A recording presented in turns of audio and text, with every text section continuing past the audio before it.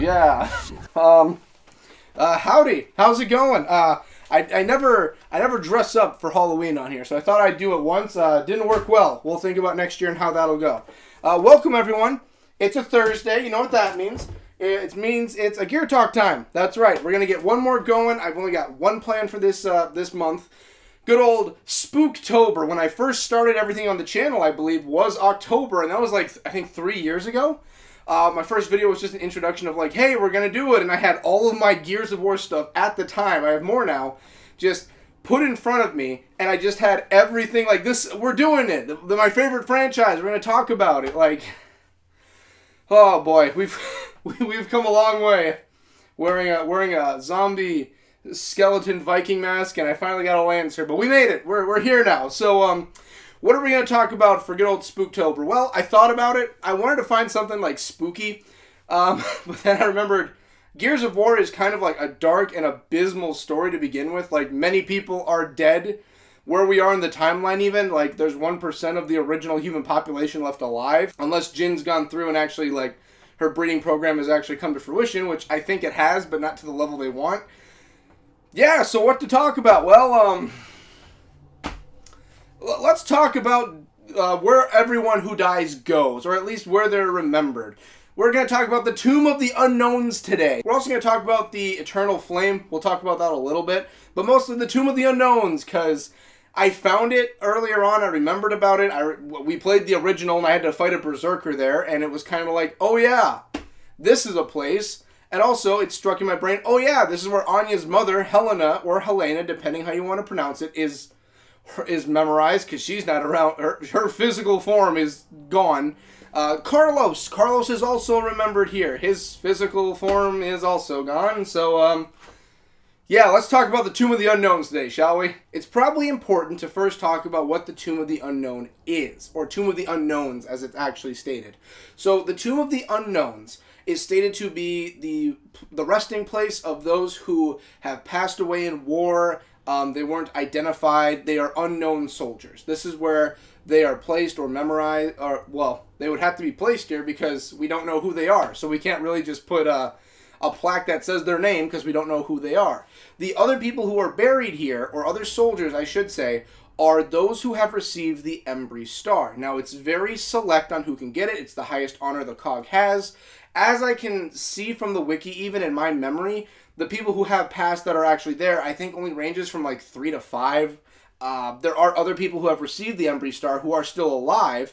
Uh, for instance, you have Hoffman. Hoffman, I believe, earned his. He gave his away, but he was still a recipient. So if he were to be died and buried somewhere pre Gears 4 and 5, it would probably be Tomb of the Unknowns, or at least when they still had it up and operational. We'll get to that also. Not only do the Unknown go here and recipients of the Embry Star, uh, but post E Day, once everything happened, quarter of the population was gone, and bodies were constantly rising, it kind of came to the decision that the Tomb of the Unknowns is kind of just open for anybody at this point. So what happened was is and and Marcus explains this later on and I think Gears 4 or 5 he explains this 4 I believe.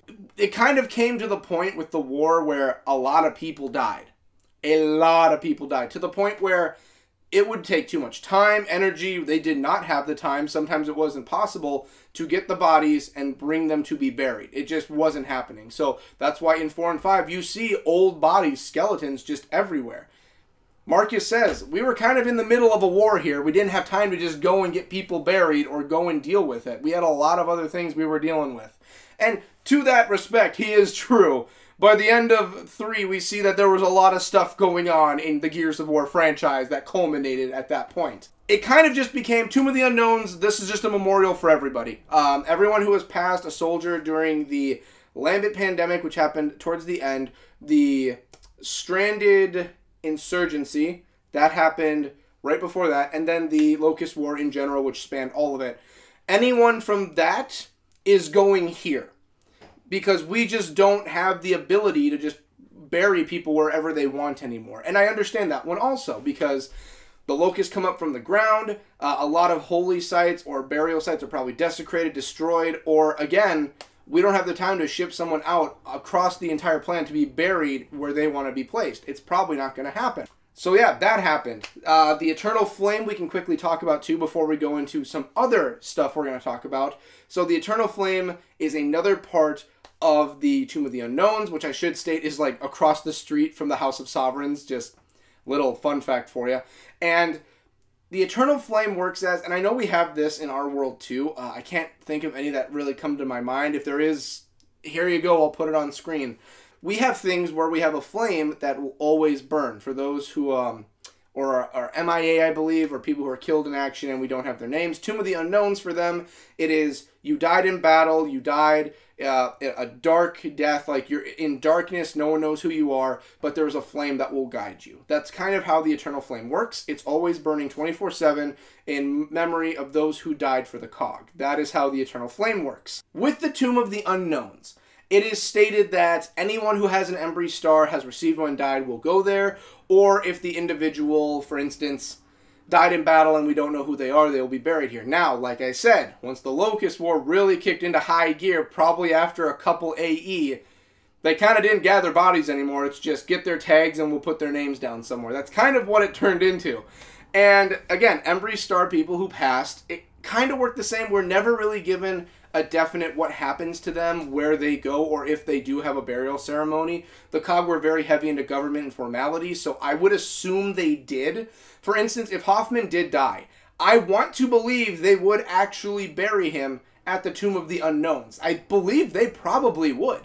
Now, I did say that it's the highest recipient you can get if you have the Embry Star. There is only there's one level above that for like burial that kind of circumcedes people being sent there to be buried. Again, the highest honor you can get, there are some exceptions. For instance, high ranking military officials or uh, people in charge politically are probably getting buried where they want to get buried. Uh, especially if they didn't get Embry Star. They're probably going where they choose to be buried. Again, their names are probably going to be scribed onto there, but the COG were very heavy on formality, so they probably were sent to be buried somewhere. Civilians are not going to be buried there, period. COG definitely doesn't do that for civilians. And the one last one are the All Fathers. Now, again, the Tomb of the Unknowns are for those who hold the highest military honor, even though the leader of the All Fathers had the last name Embry, the Embry Star. Um, they aren't getting buried there. They're, by what we know of, in Ephyra, like the main headquarters, main area, they are buried within their own like crypt or chamber. That's where the All Fathers are all buried. When everything happened, the Locust War was over, everything was really like destroyed they did start building new Ephyra, and they took scraps from old Ephyra. That included everything. They started just taking it all, scrap all, and building. Now, there are some places they did not touch. Tomb of the Unknowns and the Eternal Flame are two of those places they did not touch. Those were memorial. Anya, being the first minister at that point, made it known we will not mess with this. This is a monument to everyone who died. We're not touching it. We will try and rebuild it. That's the best we're going to do. We're not going to do anything else. We're not scrapping this. This needs to stay. When they went through Old Ephyra, they went to what we can assume the chambers of the Allfathers are, took their bodies, and brought them to New Ephyra. They didn't bring them to the tomb. Uh, they wanted to keep the Allfathers with them, which I believe it's because the Allfathers are also seen not only as the founders, but a religious figure, all eight of them. So they brought them to be pretty much like the Vatican, I would assume. I'm assuming people are buried at the Vatican, and it's like these are like the people we need to keep from everyone else. These are the most important. When Anya finally did pass, uh, after the events of all the interim stuff and before four, it was stated that she was pretty much a contender to go with the All Fathers. She was going to go there and she was going to be with them. She was on that level of how much she helped humanity when New Ephyra was created. Also, remember, she fought during the Locust War and everything. You would think maybe she will go to the Tomb of the Unknowns, or at least the Memorial Wall.